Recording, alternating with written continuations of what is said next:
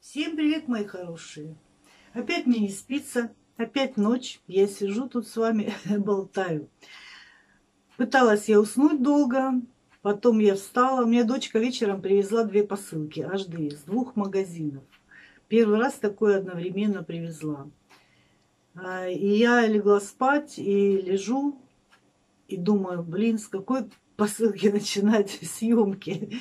Вот. Но это, это не самая главная мысль, которая мне спать не давала. У меня сын приболел что-то. Вчера вот э, колеса меняли на машине, на моей. И сын, э, правда, дистанцию соблюдал со мной, не приближался, но я колеса за дверь выставила, он пришел, говорит, там насморк, что-то у него ломота какая-то. Я прям переживаю уже за него уже жду утра, чтобы спросить у него, как его самочувствие. А потом смотрела Инстаграм, и дочка там тоже сказала, что там что-то тоже у нее то ли насморк, то ли что, что-то тоже приболело. В общем, нехорошо. Кругом все болеют, заболевают, и прям я переживаю за своих детей очень сильно.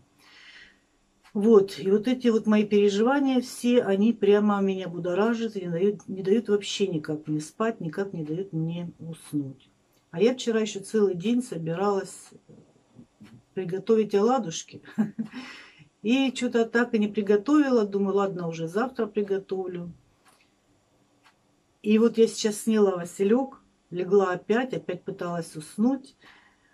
Э, и, наверное, уже, наверное, проголодалась, скорее всего. Лежала, лежала, и думаю, нет, встану-ка я сейчас и оладушки прямо сейчас и приготовлю. А я еще почему не приготовила вчера? Я же хочу их снять. А снять это уже, ну, это уже посложнее, чем просто взять их и сделать, абы как, да. Вот, так что, девочки, вот такие вот у меня переживания, бессонница из-за этих всяких разных причин. Куча мыслей в голове, эти мысли как раз-таки не дают мне спать, понимаете? Вот если бы у меня было все кругом спокойно, все нормально, то, может быть, было бы проще мне уснуть. Правда, я вчера вечером еще, когда лежала, смотрела телевизор, я так проваливалась в сон – а вот когда уже дело коснулось, что действительно спать, а я хоп, уже и уснуть не могу. Ну да ладно, по крайней мере, я знаю, что те дела, которые я должна была сделать утром, я их сейчас просто сделаю, а потом уже я спокойнее буду, и спокойнее лягу, и утром посплю. Ничего страшного. Вот, а сейчас я хочу просто приготовить оладушки и вместе с вами. Рецептик я нашла, а, рецептик хороший. Я, кстати, оладьи очень давно уже не делала. И поэтому ну, надеюсь, что они у меня удадутся. Удадутся. Удастся мне их сделать нормально. Вот. Ну, в общем, короче, девочки, давайте сейчас начнем и сделаем их вместе. Девочки, рецепт вообще не сложный, простой такой рецепт. 500 миллилитров кефира я беру, одно яйцо туда я вобью. Дальше добавим туда 2 ложки столовые сахара.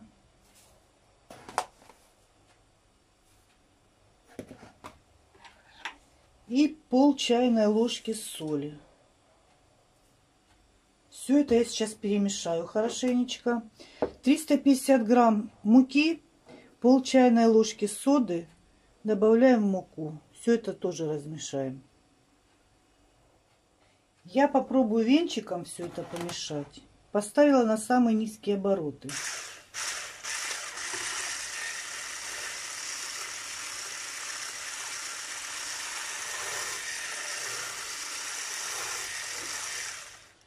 Ну, очень неплохо даже получается. Буду потихоньку туда добавлять муку.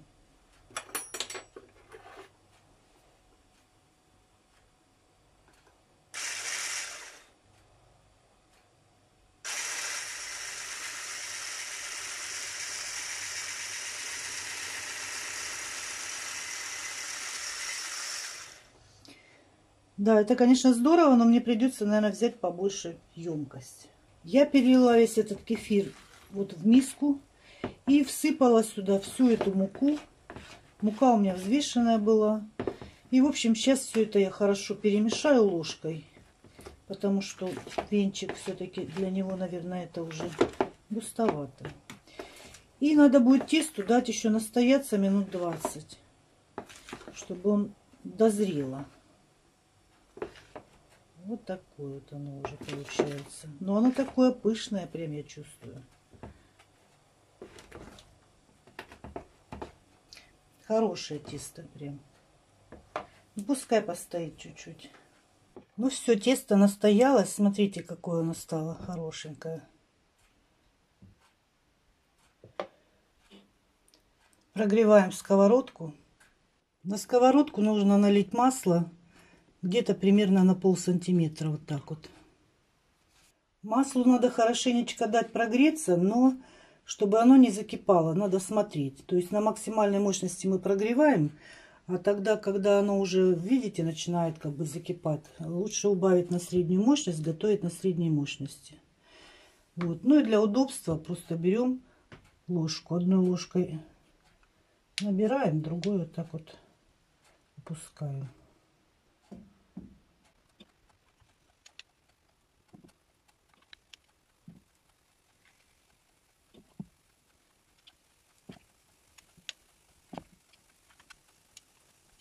Ну, вот так вот. Оладушки должны жариться медленно, и вот они уже поднимаются, они должны подняться. Ну, когда одна сторона поджарится, тогда уже можно переворачивать. Оно, в принципе, видно будет сбоку, что уже поджарилась сторона. Если быстро слишком поджарится, то лучше тогда убавить немножечко мощность.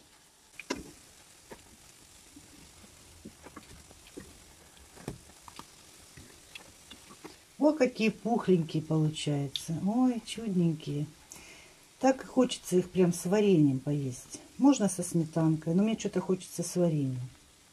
Первая партия уже готова. Смотрите, какие симпатичные получились. Все, уже вторая партия готовится. И останется еще на половинку, на половину сковородки. В общем, я думала, слишком много будет, но нет, немного. Так, нормально. Можно даже угостить кого-то. Важно, девочки, смотреть, чтобы мощность была не слишком сильная. Тогда они будут подниматься, и вот такие высокие становятся ладушки классные. А если будет слишком сильная мощность, ну они тогда так сильно не успеют подняться. Будут быстрее поджариваться. Вот такая горочка у меня получилась, девочки. И вот прям с вареничком хочу поесть. Кстати говоря, их сделала гораздо быстрее, чем ожидала. Я думала, буду долго делать. Ну, в общем, больше собиралась. Быстро все делается. Кстати говоря, девочки, я же спрашивала вас, как мне лучше снимать отдельно готовку или в, во влоге. Мнения разделились. В общем, половина говорят отдельно, половина говорят во влогах лучше, с болталкой лучше. Я, кстати говоря, вспомнила, что я же раньше начинала, когда снимать, я снимала раньше отдельно готовку. И я заметила, что отдельно готовку смотрят э, гораздо меньше, чем влог. Людям интересно пообщаться, общение людям интересно. А просто сухая готовка, но это можно, такие коротенькие ролики найти в интернете, в общем, ну, я не знаю, мне кажется, что все-таки, наверное, лучше во влогах снимать готовку. Если только, может быть, какой-то там сложный рецепт, тогда его можно снять вот отдельным видео, да. А если вот такой вот рецепт, ну, не, не сложный, простой, то, наверное, все-таки во влогах будет лучше. Ладно, болтаем, болтаем. Такие вот пышненькие получились, классные. Хочу прям уже с вареницем попробовать. Как раз то, что я хотела, девочки.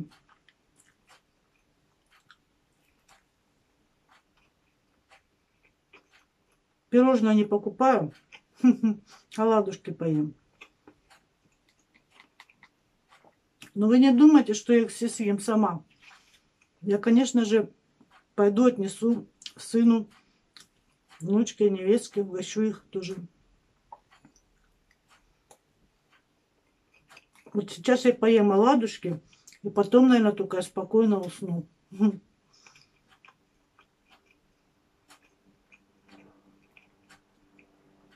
Очень вкусные. И со сметанкой можно, и с вареньем. Но мне прям с вареньем захотелось почему-то. Девочки, прям, смотрите, какие пышные. Невероятно вкусные. В общем, я давно хотела сделать, сделала, наконец-то теперь я успокоюсь. Да, наверное, успокоюсь. Ну что, соблазнила вас? Давайте делайте оладушки, девочки. Ну все, сейчас перекушу, лягу, полежу. Может, усну все-таки. Девочки, всем доброе утро, день следующий. Я вчера целый день занималась одной посылочкой. Василек уже вышел, уже смотрите.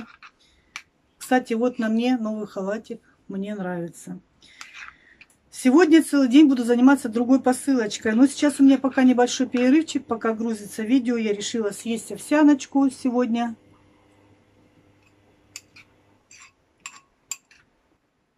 Капнула туда аквада 3. Я забываю его последнее время пить. Ну, потому что на завтрак не всегда ем овсянку. Когда овсянку, тогда вспоминаю. Вот так забываю. Но нужно его каждый день употреблять. Витамин D3 у нас это что? Иммунитет.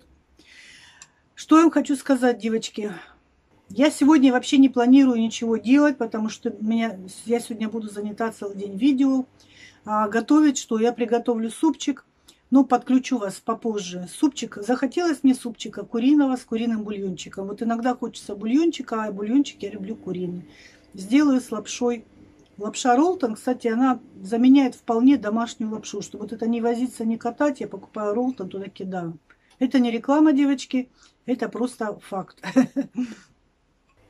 Ну, по ходу уже кинула белье стирать, чтобы параллельно у меня какие-то дела еще делались. Но самое основное дело, это у меня сегодня будет видео. Я вчера еще вечером смоталась по-быстрому в магазин, когда закончила то видео.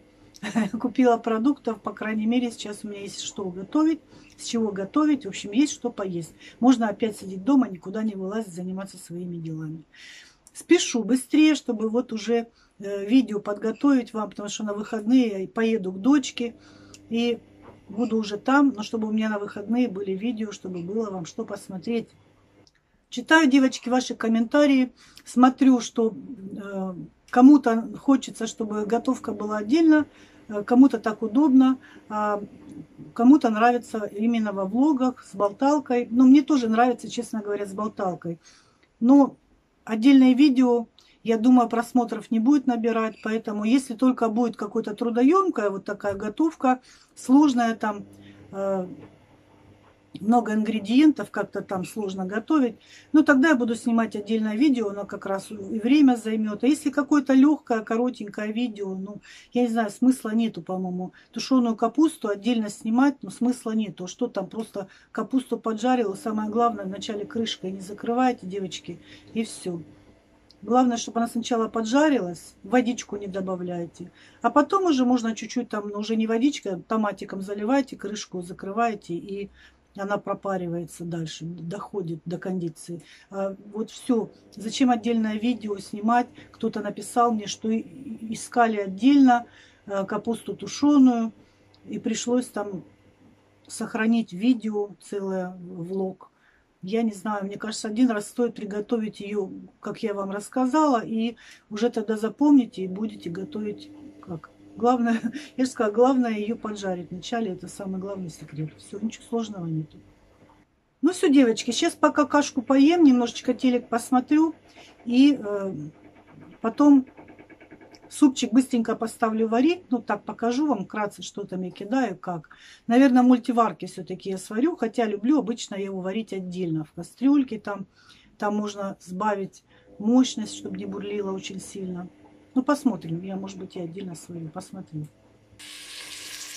Девочки, я решила в мультиварке все-таки приготовить супчик. В общем, немножечко супчика буду варить. Половину луковички, морковка небольшая на режиме жарко я поставила. Сюда же я сейчас добавлю мясо. Но это курочка, филе. Куриное филе. Пусть оно обжарится минут 15. Потом я добавлю картошку и залью это водой. И поставлю на режим суп. А в конце добавлю лапшу и зелень. Ну вот супчик сам по себе и сварился, девочки. Как хорошо иметь мультиварку. Я была занята. И, в общем, суп сварился сам. Вкусненький, уже пора пообедать. А кто у меня в гостях? Гостях. Шли мимо и решили, решили зайти. Машину отдали там, пока она что-то там делают в машине. Да, машина у тебя будет обновленная, у нее будет музыка, у нее будут центральные замки, багажник открывается. Это то, до чего у тебя руки никак не доходили, и думала, что это все сложно. Ну хорошо, ладно. Не зря, не зря мне машину отдала. Ну хорошо, ладно, да, хорошо. Доброе утро, мои дорогие. На улице тихо, хорошо, птички поют. Хотя прохладно, 11 градусов всего. Это прямо холодно. Но то, что нету ветра, это прямо радует. Смотрите, ни один листочек не шелохнется. Осень золотая, золотая прямо. Пока что пасмурно, но может быть еще раз погодится. Сегодня я не знаю, какая погода будет. Хорошо, благодать. Еще раз доброе утречко, мои хорошие. Наконец-то я до вас добралась. Два дня я вообще снимала посылки. И с утра до вечера, в общем, была занята и готовила так вот быстрее-быстрее наспех. В общем, решила с вами чуть-чуть поболтать, поотвечать на ваши вопросы. На какие-то вопросы я ответила, там, если коротко ответ дать. Но на какие-то вопросы нужно давать полный ответ. И вот один такой вопрос э, был э, у одной подписчицы. Вы там пишете очень часто, что вы устаете. Часто повторяете, что вы устаете, что у вас нет сил. Может быть, вам к врачу обратиться. С чего вы там так устаете, кто-то пишет. Что вы там такое делаете, что вы там устаете. Ну вот я хочу сейчас вам ответить, если кто не знает, э, почему я устаю. Во-первых, я, конечно, вкалываю, но вкалываю именно вот с утра до вечера. Я утром встала и целый день кручусь, верчусь на ногах, э, и потом уже падаю без сил. Э, устаю, потому что я что-то делаю. Я не лежу просто так вот на диване целый день. Это, это редко мне удается, когда просто вот я хочу просто отдохнуть, и просто я вот лежу, ничего не делаю, никуда не хожу, ничего не снимаю, не монтирую и вообще. Вот тогда я просто отдыхаю. Когда я могу просто сериальчики посмотреть, вот это отдых. А так все время что-то делаю. У меня последние недели вообще ни одного дня я не отдыхала. Ну, если кто-то не знает, вот хочу вам а, напомнить мою историю болезни. Я пять лет назад, э, когда работала в видео, я заболела очень сильно, вынуждена была уволиться и начала проходить обследование. В общем, я уже не могла ходить, у меня все суставы болели, спина, все, все болело у меня. Еле-еле ноги передвигала. Я уволилась, пошла к врачу и начала обследование. Кучу денег потратила на это обследование, вообще все свои сбережения. И полгода я лечилась, проходила МРТ, там все анализы сдавала, УЗИ, ШМУЗИ, всех врачей во все дырки позаглядывали, все, что мыслимо, немыслимо, все это пообследовала, там платные и неплатные э, анализы, все это поздавала. В общем, в итоге поставили диагноз мне остеоартроз второй степени остеохондроз второй степени. Все, я вообще ходить не могла. Я в магазин шла, вот когда у меня коленки трусились, я ноги еле переставляла, ноги как свинцовые были, как будто гири на них повесили. Вот так я передвигалась. Вот, ну, потом, когда вот это вот уже я полечилась, полечилась, в общем, физиотерапию, там еще что-то, лекарства всякие, там ну, несколько курсов э, терапии всякой разной прошла. В общем, более-менее мне поставили на ноги, более-менее я стала как-то ходить. Но ходить я могла недолго, сидеть я могла недолго. Сидеть максимум два часа, и у меня начинали болеть суставы уже, коленные, тазобедренные, спина и все дела. Ну и также ходить тоже. Я стала быстро уставать. В общем, в итоге просто мне нужно было отдыхать. Но э, деньги закончились, и пенсии мне тогда еще не было. И, в общем-то, я нашла работу, где могла по своей специальности работать консультантом, только не на полной занятости. 20 часов в неделю я работала не полный день. И, в общем-то, как-то более-менее два года я так проработала. Но было тяжело все-таки. И условия работы стали тяжелее. А дочка как раз Дэню родила, и я уже помогать к ней ездила. И, в общем, в итоге мы с дочкой порешили, что я увольняюсь и помогаю ей с ребенком. Там по дому, и она мне просто эти деньги, которые я зарабатывала, просто она мне дает на жизнь, чтобы мне было на что жить. В общем, так вот все это и продолжалось. Поэтому, в принципе, я как бы э, человек, в общем-то, подвижный, но, я же говорю, надолго мне не хватает. Я когда дома нахожусь, я что-то поделала, мне надо отдохнуть. Я искупалась, мне надо отдохнуть. Я приготовила покушать, мне надо отдохнуть. В магазин сходила, пришла, мне надо отдохнуть. А отдохнуть мне надо не сидя, а лежа, когда я ложусь, у меня расслабляются мышцы, суставы, все. Я тогда вот минут 15-20 хотя бы полежу, я чуть-чуть отдохнула, чуть-чуть э, сил прибавилось, я могу встать, еще что-то поделать. В общем, что-то делаю мелкими перебежками. Вот, поэтому, когда я целый день на ногах, естественно, я устаю, у меня все болит, все ломит. И, в общем, поэтому я и жалуюсь вам, как говорится, вот на это, на свою усталость, на свое здоровье. К врачу идти мне не надо, потому что мне врач скажет, отдыхайте больше, вот и все. У меня острой боли такой вот нет. Она какая-то тупая, такая ноющая. Но когда мне нужно что-то делать, э, что-то там ноет уже, надоедает, я иногда, иногда выпиваю обезболивающее, либо таблетку диклофенака, либо таблетку немесил, немесил, ну не таблетку, а порошочек этот вот. И все. Но стараюсь не увлекаться очень редко. Там, ну, может быть, раз в неделю, раз в две недели вот обезболивающее бывает приходится выпить. Но э, я знаю, что чтобы мне не приходилось его выпивать, мне нужно просто почаще отдыхать. Ну, а у меня еще и съемки, у меня внуки. Короче говоря, дел не в проворот. А дочка вчера была у меня в гостях, мы с ней э, пообщались, э, и, в общем-то, она мне говорит, ну, через день выпускаешь ты видео, это, конечно, тебе тяжело. Ты, может быть, э, подумай о том, чтобы выпускать, может быть, реже видео. А, ну, потому что своим помогать надо. Это очень-очень нужна э, помощь бабушке, когда а, можно где-то посидеть с внуками для того, чтобы мои дети могли работать, зарабатывать деньги э, на жизнь. Поэтому невестка пошла работать, мне нужно с внучкой помочь где-то. Дочка работает на дому, а, нужно помогать ей тоже, потому что ипотека у нее, и э, канал у нее большой, и много-много-много дел. Все, что она делает, она все это снимает, она с этого получает, конечно, доход, и на это, в общем-то, она и живет. Поэтому я считаю нужным помогать своим детям. Я не могу спокойно лежать э, и знать, что вот э, из-за того, что я не помогу, они вот э, что-то не заработают и как бы будет трудно. Ну, нормальная мама, бабушка будет помогать. А еще из-за чего я устаю? Ну вот, например, у меня, я вам говорила, одновременно пришли у меня две посылки. Когда они приходят с каким-то перерывом, одна посылочка пришла, ну там ее сняла, допустим, раз в неделю. И все, и хорошо, да один день там покрутилась, и потом можно где-то как-то отдохнуть. Влоги я снимаю с перерывчиками, что-то там поготовила, поснимала, что-то там посидела, поболтала, что-то там чего-то по мелочи. В общем-то, как-то это не такой вот прям сняла, села и сидишь, и что-то там вот снимаешь.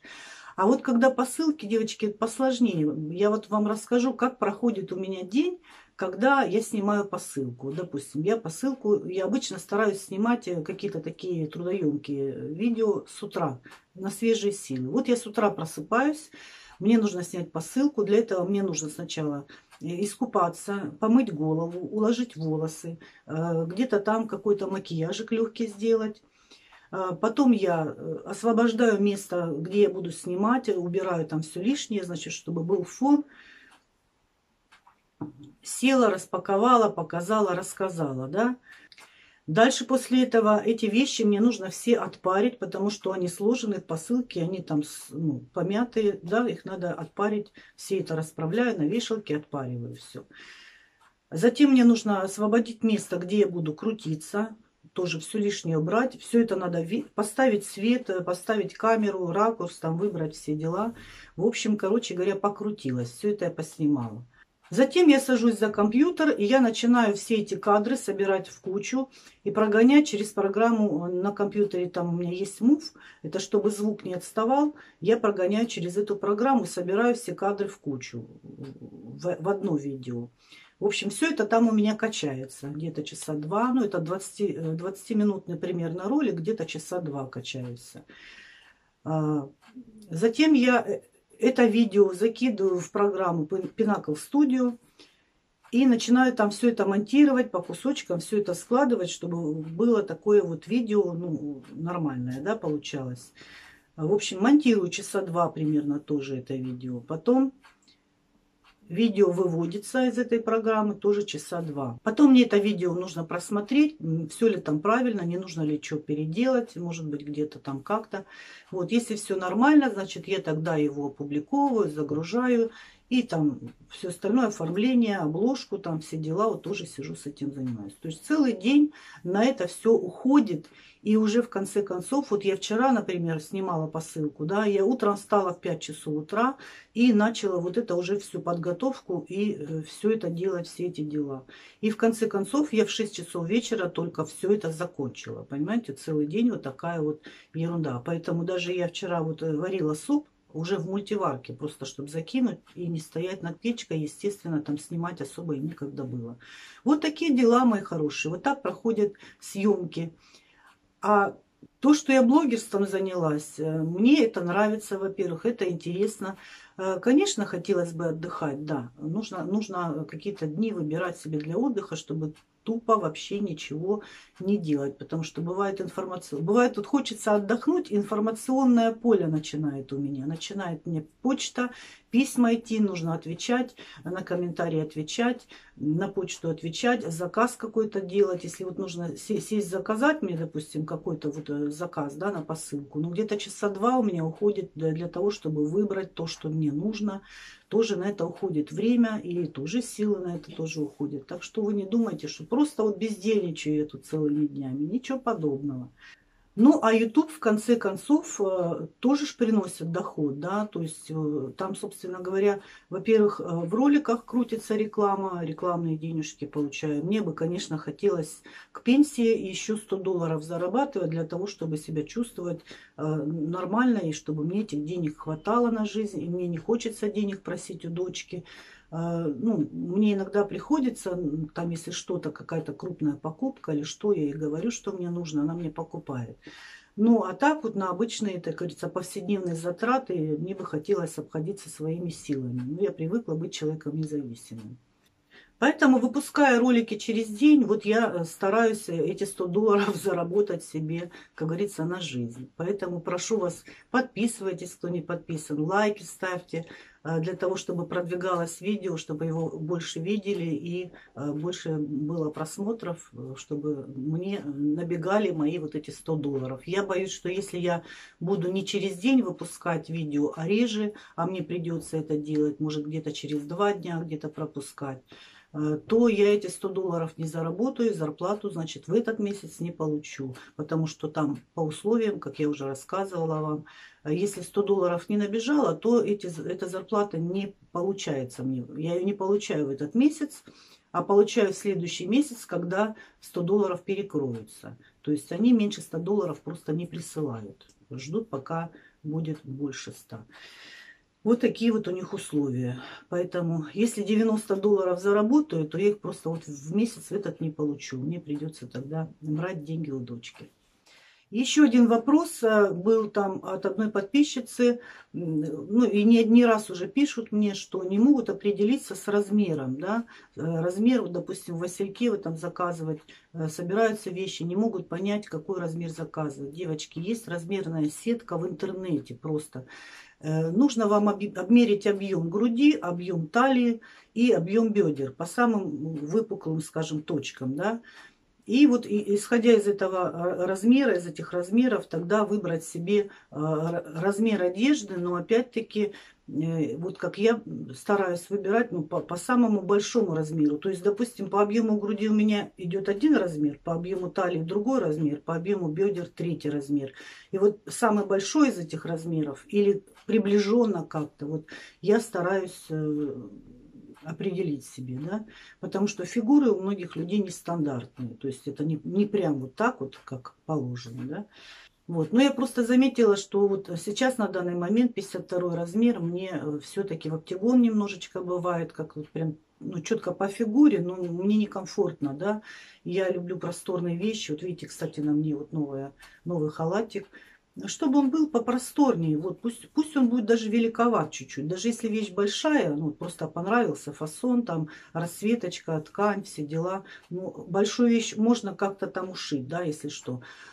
А маленькую вещь ты уже все, ничего с ней не сделаешь. Просто носить ее некомфортно, она будет лежать, и приходится ее кому-то просто задаривать, отдавать. Кстати, кто-то беспокоится о том, зачем вам столько много вещей. Девочки, ну, э, вещи мне идут, как говорится, по бартеру. Я Э, лишние вещи, которые у меня просто вот э, лежат, и я их как бы по каким-то причинам не ношу, что-то некомфортное, я их просто отдаю, раздаю. Я не занимаюсь вот какими-то там продажами, мне это не нужно, я вообще плохой торгаш, с меня торгаш никакой.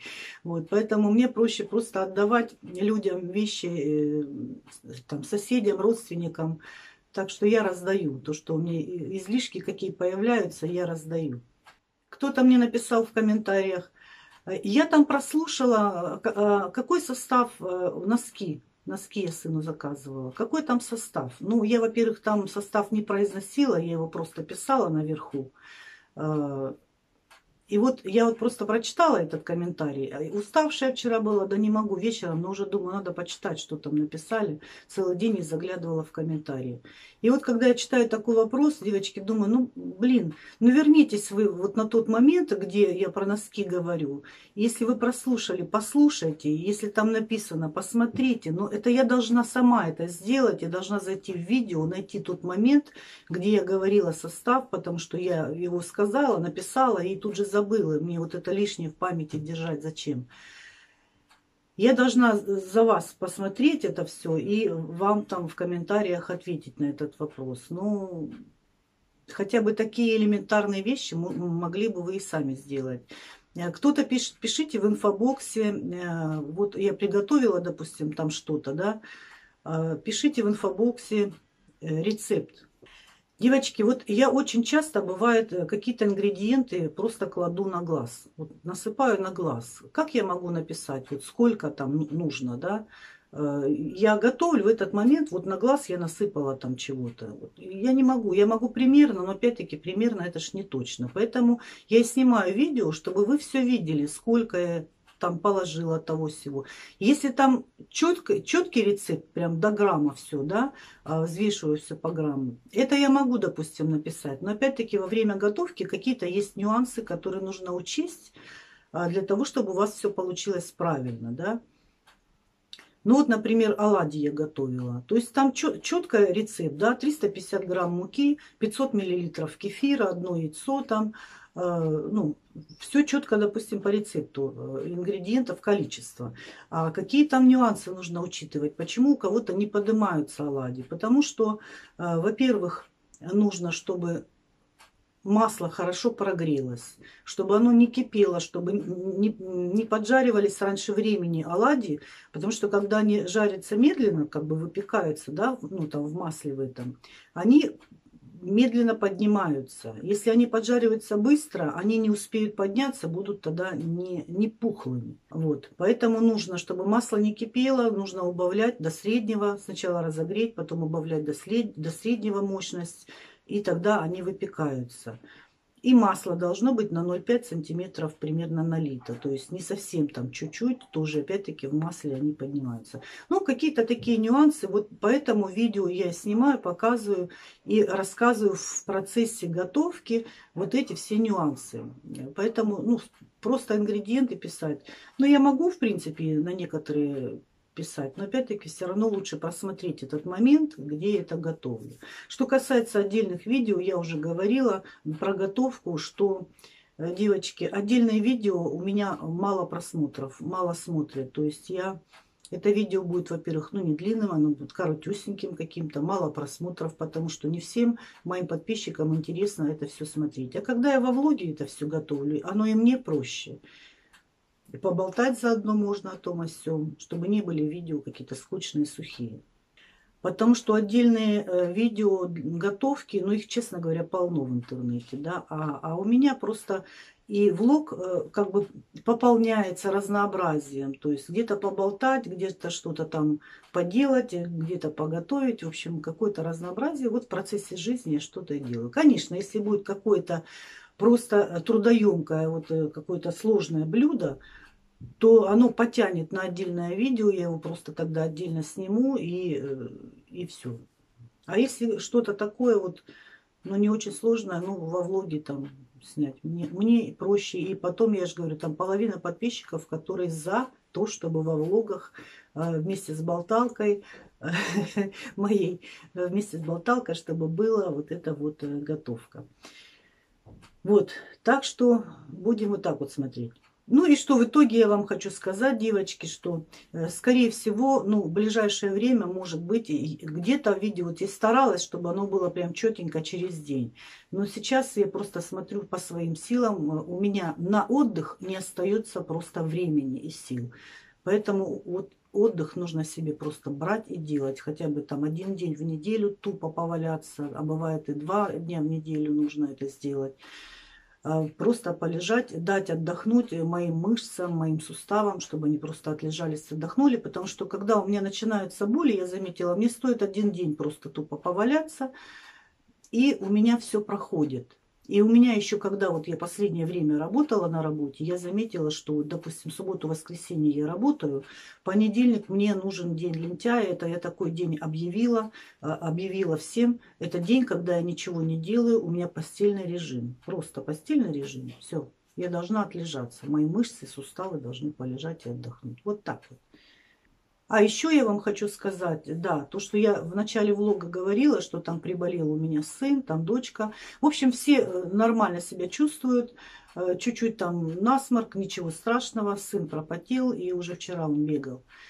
Э, дочка нормально себя чувствует, вы вчера ее видели, все хорошо. Она с вами тоже в Инстаграме там постоянно на связи. И, в общем, все здоровы пока что, тфу -тфу -тфу, чтобы только никто не болел.